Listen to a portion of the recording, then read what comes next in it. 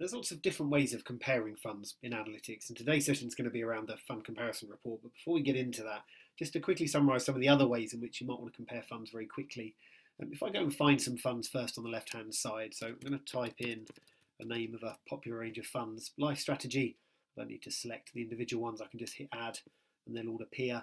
What do I want to do with those funds? Well, on the right hand side, I might want to start off with a performance graph. So I'll select five years, generate and that would show me a nice chart looking at all of the funds against one another. I might want to look at risk, so I could think about running off a scatter chart. So back to the main screen, over on the right hand side, change chart type to scatter. Again, select a time period and click on generate.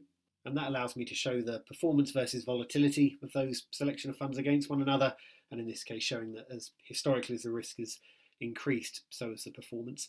And what about perhaps a bar chart? So if I come back to the main screen, Again, on the right hand side, charts, uh, bar chart, um, select fund, chart basis. I want this on a discrete basis, year on year. So period ends is going to be yearly. I want to run this off over five years and click on generate. And rather than always looking at cumulative performance, we can now look at discrete year on year windows showing us how those five funds have behaved during good times and indeed bad. But coming back to the main screen, there is a slightly easier way of getting a nice report that compares these funds against one another, particularly if I wanted to look at all of the above. Yes, I want to look at performance and volatility. I might want to look at charges and asset allocation and ratings, etc. So on the right hand side, there's a nice feature under the report tab. It's under fund comparison report, that one there. Um, all I've got to do is select a handful of funds on the left hand side. I don't really need to play around with the options on the right and just hit generate to produce it. And the resulting report is a bit like a beauty parade. It puts all of those funds side by side. And as I said, it looks at all of the different things you might want to look at if you're recommending one of these funds against another. Now, just coming back to the main screen, another use of that is if I'm trying to recommend maybe one fund over another, rather than having to look at lots of different funds, I've maybe run some analysis on my portfolio. I've decided that my client's current American holding, their Aberdeen Standard American Equity Fund, maybe perhaps hasn't been behaving as I'd expect it should do, and therefore I'm looking to swap it out with the Baillie Gifford American Fund. And again, we can use scatter charts, performance graphs, and bar charts to compare the funds side by side, but equally, over on the right hand side, again, we can utilize a fund comparison report. And again, illustrate to the client all of the reasons why we're recommending one fund over another.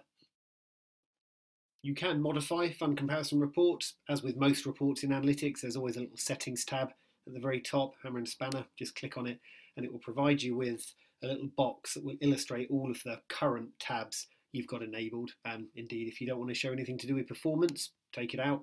Don't want to show anything to do with sector split, regional split, asset split, again, take them out by deselecting. And I can either click on apply, which will apply those settings to this specific report, or if I click on save, that creates a new default for me. So every single re comparison report I ever produce going forward, it'll always apply the same logic. Fund comparison reports are pretty simple, so hope you found that useful. If you do need any help though with any feature on analytics, you can feel free to use the live chat facility with our help desk in the bottom right. Uh, equally on the left hand side, you've got contact us, which will give you details for their phone number and email address. And you've got, again, training and guides. So guides for every feature on the right hand side and the ability to book yourself in with the training team.